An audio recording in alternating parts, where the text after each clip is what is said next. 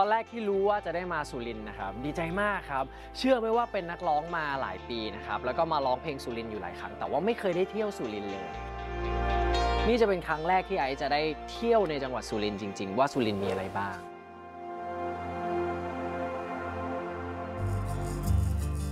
สวัสดีครับ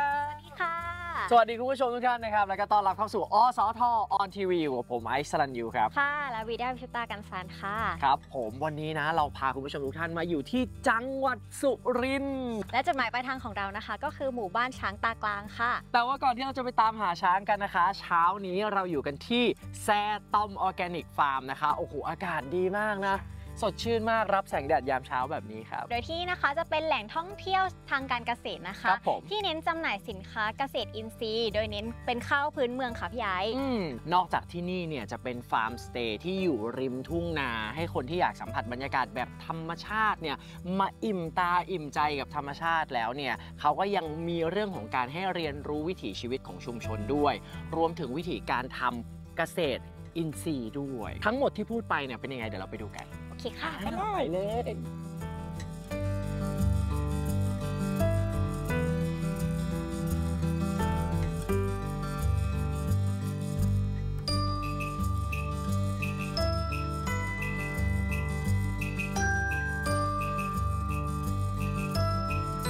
สวัสดีครับสวัสดีครับสวัสดีค่ะพี่แทน สวัสดีครับ ยินดีต้อนรับครับ ใจมากเลยที่เราได้มาอยู่ที่แซตอมออร์แกนิกฟาร์มครับ ที่มาที่ไปของชื่อนี้คืออะไรครับพี่ แซตอม แซแปลว่านา ตอม แปลว่าห้วย แปลว่ากลุ่มนาที่ตั้งอยู่ริมห้วย เป็นชื่อที่ใช้เรียกชาวบ้านเรียกภูมิประเทศครับผม ครับแซตอมนาริมห้วย ใช่ ค่ะครับผมชื่อเท่แล้วถ้าเกิดว่านักท่องเที่ยวมาที่นี่อะค่ะ จะเขาจะได้ทำกิจกรรมอะไรบ้างคะกิพี่จกรรมมาแล้วแล้วแต่ฤดูนะครับฤดูนี้เนาะก็เป็นฤดูเกี่ยวข้าวเราก็มากินข้าวใหม่ ก็จะมีฟาร์มสเตย์ครับผมแล้วก็จะมี พิพิธภัณฑ์สาโทไทยครับผมครับเที่ยวแล้วก็จะมีท่องเที่ยวเชื่อมโยงกับหมู่บ้านใกล้ ๆ เราก็คือหมู่บ้านช้างหมู่บ้านทอผ้าไหมครับผมเรียกว่ากิจกรรมแน่นแน่นมากถามนิดนึงว่าที่นี่เนี่ยได้ข่าวว่ามีผลิตภัณฑ์เด็ดด้วยอะไรที่เป็นของเด็ดของที่นี่บ้างครับ ของเราก็จะมีข้าวพื้นเมืองอินทรีย์นะครับผมอย่างเช่นครับผักกาอัมเปิลเป็นข้าวที่ขายดีอันดับหนึ่งของฟาร์มเลยเป็นผักกาอัมเปอร์ใช่ครับผักกาแปลว่าดอกไม้อัมเปิลแปลว่ามะขามถ้าแปลเป็นภาษากลางก็คือ ข้าวดอกมะขาม สีข้าวเปลือกมันเป็นสีดอกมะขามอ๋อคมัรับนเป็นรวงเขาเหมือนใช่มะครับขามสีดอกมะขามครับ แล้วก็รสชาติเหมือนข้าวโพดข้าวเหนียวครับผมมีกลิ่นเอกลักษณ์เฉพาะตัวครับผม อันนี้จะเป็นข้าวเขียวเป็นข้าวกล้องเขียวครับ อีกตัวหนึ่งก็จะเป็น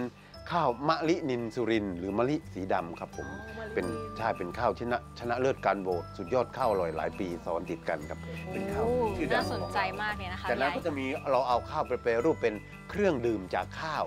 ครับผมถ้าใครสนใจเครื่องดื่มจากข้าวก็มาที่นี่โดยตรงได้เลยครับโอ้โหพูดมาขนาดนี้อยากที่จะลองกินข้าวของที่นี่แล้วครับรบกวนพี่แทนพามาหน่อยได้ไหมได้ครับเราจะพาไปหุงข้าวแล้วก็ชิมข้าวใหม่กันเลยครับ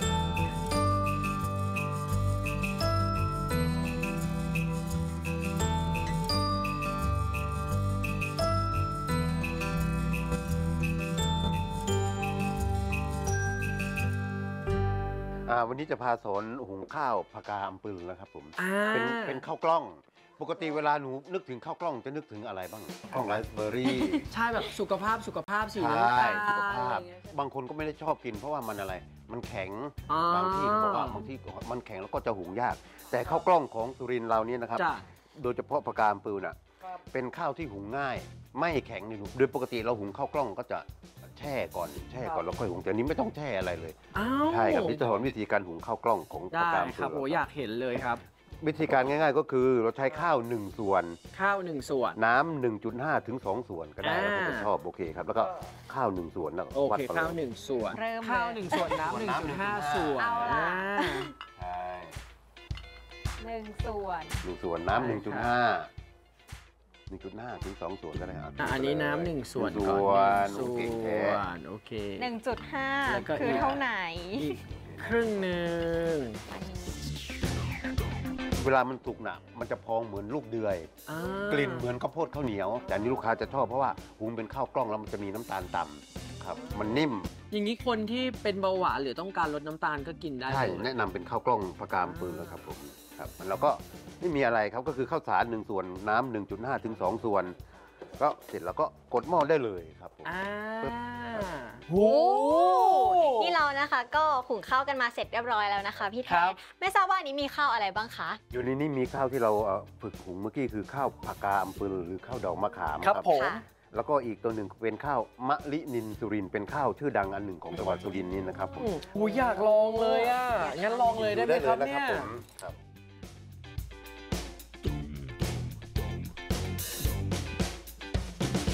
อ้ต้องบอกเลยว่า อันเนี้ยเหนือความคาดหมายจริงๆนะ เคยทานข้าวมาหลายที่นะครับ แต่ต้องบอกว่าข้าวที่เนี่ยมันพิเศษจริงๆอะคือมันมีความกรอบนอกนุ่มใน แล้วมันมีความนัวต้องใช้คำว่านัวจริงๆ เพราะมันมีรสชาติอยู่ข้างในเม็ดข้าว แบบที่เรายังไม่ต้องใส่เครื่องปรุงอื่นๆ เข้าไปเลยข้าวก็มีรสชาติแล้วครับ ก็ถ้ามาที่นี่นะคะ เราก็จะได้เห็นวิถีชีวิตต่างๆ แล้วก็จะได้สัมผัสกับบรรยากาศธรรมชาติของที่นี่เลยค่ะแซตอมออร์แกนิกฟาร์มค่ะ เป็นยังไงบ้างคะพี่ไอซ์ที่แซตอมออร์แกนิกฟาร์มโอ้โห ต้องบอกน้องวิด้าเลยว่าอิ่มทั้งท้อง อิ่มทั้งตาอิ่มทั้งใจเลยนะคะค่ะเพราะว่าฟาร์มสเตย์ของเขาเนี่ยคืออยู่ท่ามกลางธรรมชาติ คือนอกจากเราจะได้สัมผัสอากาศบริสุทธิ์แล้วเนี่ยเรายังได้เรียนรู้วิถีชีวิตชุมชน แล้วก็เรื่องของวิถีเกษตรแบบออร์แกนิกอีกด้วยผมมันดีลทุกอย่างเลยใช่ค่ะค่ะงั้นเดี๋ยวต่อไปเดี๋ยวเราไปเที่ยวกันต่อดีกว่านะคะพี่ไอซ์เพราะว่าเรามีความสนุกรออยู่อีกเพียบเลยค่ะ ได้สิไปกันเลยไปกันเลย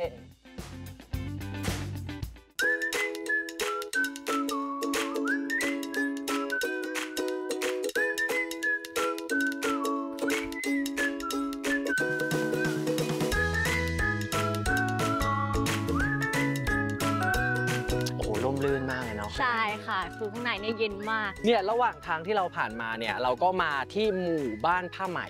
ชื่อว่าบ้านท่าสว่าง บ้านท่าสว่างเนี่ยนะคะครับจะเป็นหมู่บ้านที่มีชื่อเสียงในเรื่องการทอผ้าไหมยกทองนะคะ ซึ่งก็ตามชื่อเขาอยู่แล้วเนาะโอ้โห ใจไม่ไหวแล้วอยากเข้าไปดูข้างในแล้ว เพราะว่าตอนนี้เนี่ยเรายืนอยู่ที่หน้าโรงทอผ้า ชื่อว่าโรงทอจันโสมาค่ะอยากเข้าไปดูข้างในไหมอยากมากยายก็อยากเห็นมากไปเข้าไปดูข้างในไปกัน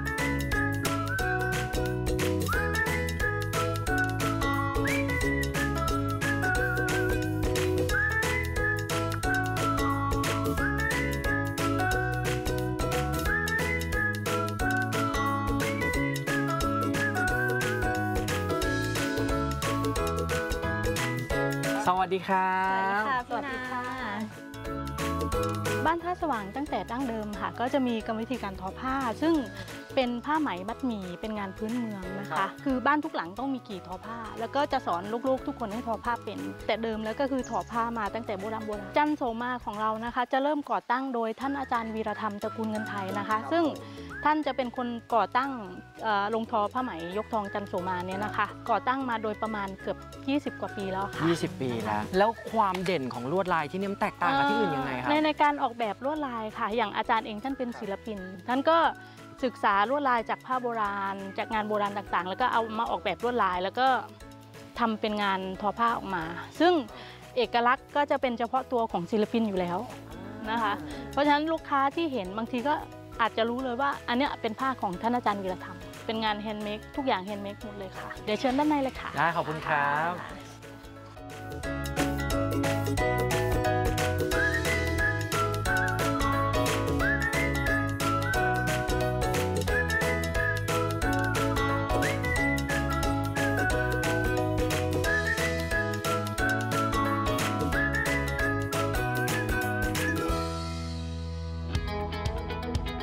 รงนี้นะคะก็จะเป็นโรงทอผ้าไหมยกทองของเราอะค่ะ ก็คือหนึ่งหนึ่งกี่ของเราเนี่ยนะคะที่เราเห็นนะคะ ก็จะมีคนทออยู่ 4 คน เริ่มแรกเลยก็จะเป็นคุณยายนะคะ ซึ่งมีหน้าที่คอยทอผ้า แล้วก็คอยเช็คความเรียบร้อยของของตัวผ้าค่ะเวลาทอนะคะ แล้วก็ จะเห็นขนาบข้างซ้ายขวาตัวเนี้ยค่ะใช่ค่ะ พี่ๆเขาก็จะมีหน้าที่คอยเป็นผู้ช่วยคนทอในในการส่งตัวไม้ตะกอลายหรือว่าแพทเทิร์นลายให้กับคนทอโอ้โหเพราะว่ามันนะคะใหญ่มากอะเนาะ ใช่แต่ที่สงสัยที่สุดเลยค่ะพี่นา มีพี่อยู่ข้างล่างด้วยหนึ่งท่านนี่ทำอะไรครับเนี่ย เอ่อสำหรับคนที่อยู่ข้างล่างนะคะ ก็จะมีหน้าที่คอยส่งไม้ ครับ คอยส่งแล้วก็คอยจัดเก็บไม้ตะกอลายหรือว่า pattern ลาย อ๋อ เพราะว่าไม่เคยไม่เคยเห็นที่อื่นที่มีคนอยู่ใช่ข้างหนูล่างอเพิ่งย่างเห็นนี้เลยที่นี่เนาะที่แรกเหมือนกัน อ่าสาเหตุที่เราต้องใช้คนทอเยอะอะค่ะ ครับอหนึ่ง pattern ลายหรือว่าตะกอลายเราเยอะก็คือหลักร้อยขึ้นนะคะครับอ่ากี่ที่เรากำลังดูอยู่เนี่ยค่ะจะเป็นกี่ลายครุฑยุทธนาคครับ นะคะ ก็จะมีอยู่ที่ 1,416 ตะกอลาย นะคะ แล้วก็ระยะเวลาการทอต่างๆ ก็จะจะอยู่ที่โดยประมาณเลย 3 เดือนกับ 4 เดือน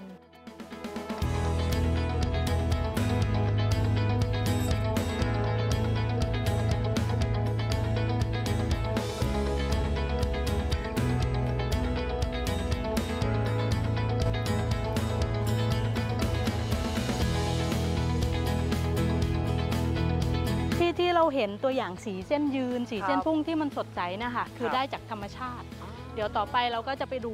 กรรมวิธีการย้อมสีธรรมชาติ แล้วก็ตัวอย่างสีว่ามันจะสดใสขนาดไหนโอ้ดีจะได้เห็นว่าทำยังไงค่ะได้ครั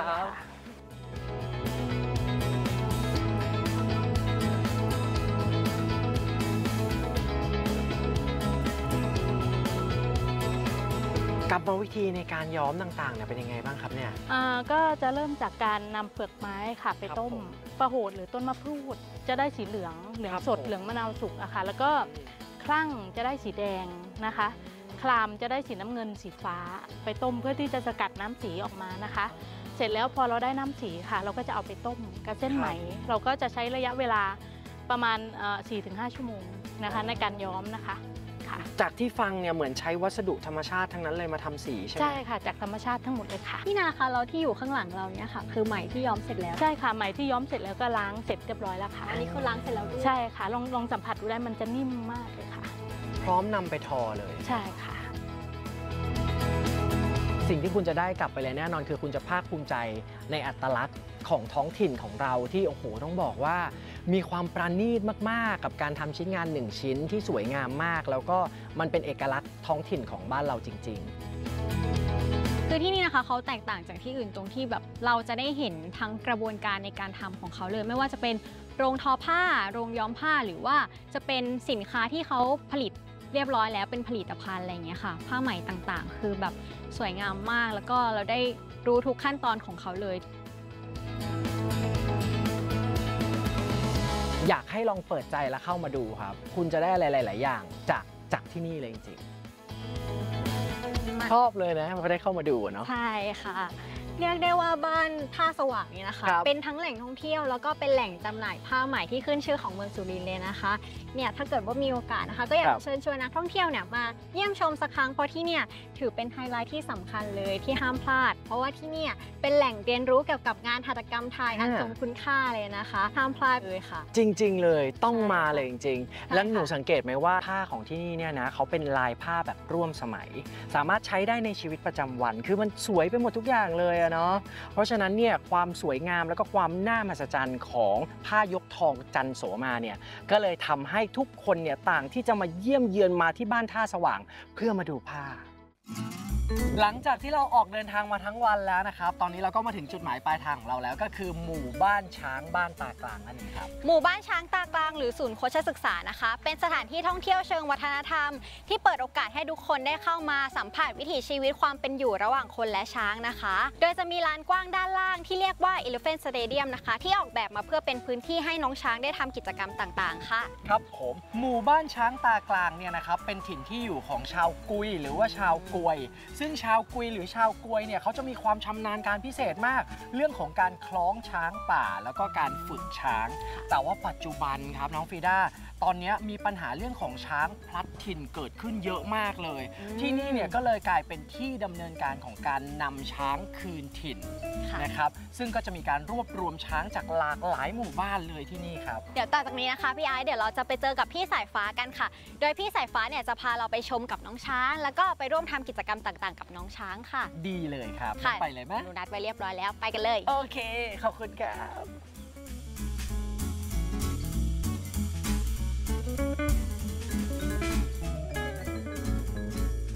ครับ สวัสดีพี่สายฟ้าค่ะสวัสดีค่ะ ตอนนี้เรากำลังทำสั่งหรือสไนด์ครับผม คืออะไรล่ะครับพี่สายฟ้าครับคนเลี้ยงช้าง ครับเขาจะใช้แทนเป็นเสียงสัญญาณ อ่าบอกกล่าวก็เวลาจับคล้องช้างไปคล้องช้างป่าเขาจะ ไม่เรียกชื่อกัน เขาจะใช้เอ่อสไนด์เนี่ยหรือสั่งเนี่ยเรียกกันก็อยู่ใครได้ยินอะไรก็อยู่นั่นอยู่นี่ก็ก็จะตามเสียงนี้ไป เมื่อกี้พี่สายฟ้าบอกว่าเขาใช้แทนการเรียกชื่อใช่ไหมแล้วทำไมเขาถึงไม่เรียกชื่อกันไปเลยล่ะครับพี่แต่ก่อนเนาะครับโบราณก็เชื่อว่าการเรียกชื่อคนในเผาในดงดิบเนี่ยมันมีการเรียนแบบเสียงคน บางทีเราก็ไปเรียกกันชื่อกอไก่ขอไข่ก็ผีป่าผีเขาสมิงสิงพลายใช่อะไงี้เรียกกันอ๋อแอบหาตามกันไม่เจอก็เลยมี อะอย่างนี้ใช้สสัญญาณด้วยการเป่า เราจะทำจากเขาควายเขาถ้าเขาควายเล็กก็เสียงมันจะเบาครับมันจะไม่ก้องกับมันกลองถ้ากลองเล็กก็เสียงน้อยถ้ากลองใหญ่ก็เสียงก็ดังงอ่าเราก็ต้องหาคอควายที่มีความสมบูรณ์มีความใหญ่ครับๆแล้วแล้วก็เอามาทำอ่าต้องเจาะรูเจาะรูเจาะรูเพื่อใส่ลิ้นอย่างเงี้ยครับแล้วก็ทดสอบว่าได้ไม่ได้ก็เราก็ต้องขัดไปเรื่อยจนกว่าจะได้ขนาด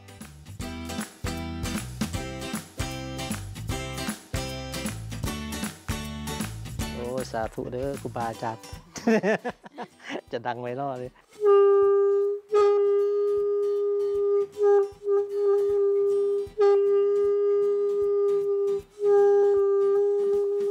โอ้ยสำเร็จแล้วนะครับคุณผู้ชมสุดยอดมากของมีครูด้วยใช่ค่ะอืมครับพี่สายฟ้าคะแล้วหลังจากนี้เดี๋ยวเราไปที่ไหนกันต่อคะอืมวันนี้เราจะไปขอพรจากพระครูประกรรมพ่อ ตุยสารงามท่านรอที่สารประกรรมแล้ว เดี๋ยวจะพาไปขอสิ่งดีๆ ขอพรดีๆ จากหมอประกรรมครูประกรรม ซึ่งเป็นสิ่งศักดิ์สิทธิ์ของหมู่บ้านเรา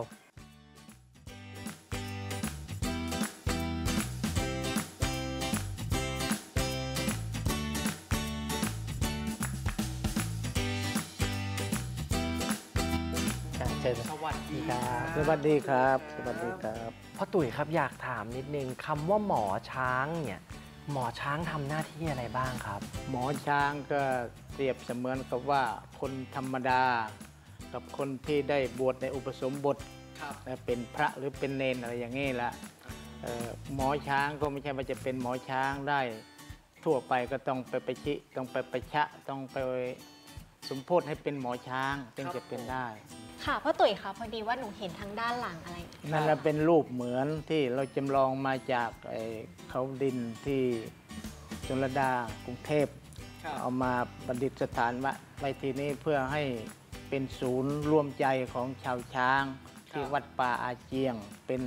ศูนย์ใหญ่ เป็นประกรรมที่ว่าชาวบ้านชาวเมืองจะมากราบไหว้ที่นี่ก็ได้ จะไปกราบไหว้ที่บ้านเขาก็ได้ แต่ที่นี่เป็นศูนย์ใหญ่พิ ธีกรรมก็คือพิธีไหว้เส้นประกรรมเป็นการขอพร เราจะเอาช้างเดินทางไปต่างจังหวัดหรือต่างถิ่นต่างแดน หรือจะไปจับช้างหรือจะไปมี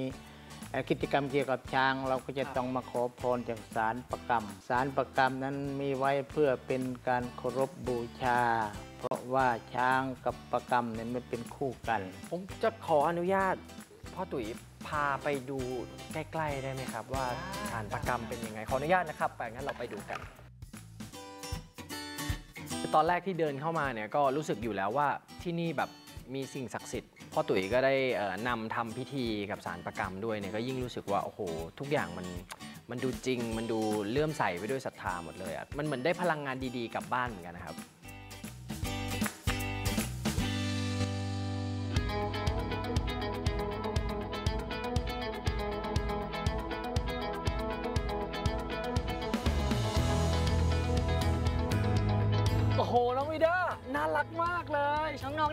มากเลยค่ะอะน้องครีมและน้องโดโดเนี่ย น้องครีมกับน้องโดโดใช่คกำรัลับงซนเลยด้วยค่ะนะ